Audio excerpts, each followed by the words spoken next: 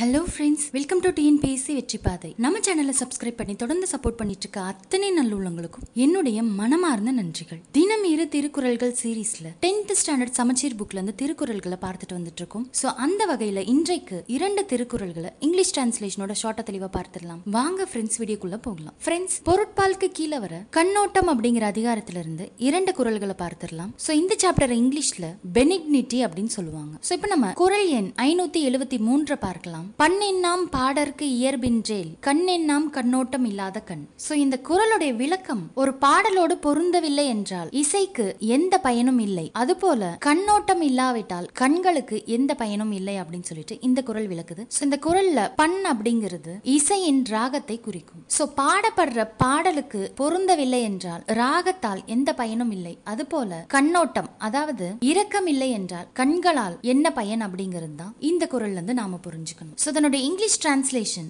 were not accordant with the song what use of sounding chords what gain of eye that no பெனிங்னன் light efforts so தன்னுடைய explanation of what avail is a song if it be inconsistent with harmony what is the use of eyes which possess no kindliness அதாவது ராகம் எதற்கு இசைக்கு இசையவில்லை என்றால் அதுபோல கண் எதற்கு பக்குவம் அடைதல் என்பது இல்லை என்றால். சோ இதுதான் இந்த குறளுடைய மையக்கருத்து. அடுத்தது நம்ம இதே அதிகாரத்திலிருந்து குரல் எண் ஐநூத்தி எண்பதை பார்க்கலாம். பெயர் கண்டும் நஞ்சுண்டமைவர் நயத்தக்க நாகரிகம் வேண்டுபவர். இந்த குறளுடைய விளக்கம் அனைவராலும் விரும்பத்தக்க ஒரு நாகரிகமான கண்ணோட்டத்தை விரும்புகின்றவர்கள் தன்னோடு பழகியவர்கள் தமக்கு நஞ்சு இட கண்டும் அதை உண்ட அமைவர் அப்படிங்கிறது தான் இந்த குறளுடைய விளக்கம். அதாவது எல்லோராலும் விரும்பத்தக்க நாகரிகத்தை விரும்புபவர் தமக்கு நெருக்கமானவர் நஞ்சையே தருகின்றார் என்று அறிந்தும் சிறந்த கண்ணோட்டம் காரணமாக அதை உண்டு அவருடன் பழகுவர் அப்படிங்கிறது தான் இந்த குரல்ல இருந்து நாம புரிஞ்சுக்கணும். சோ இதனுடைய English translation they drink with smiling grace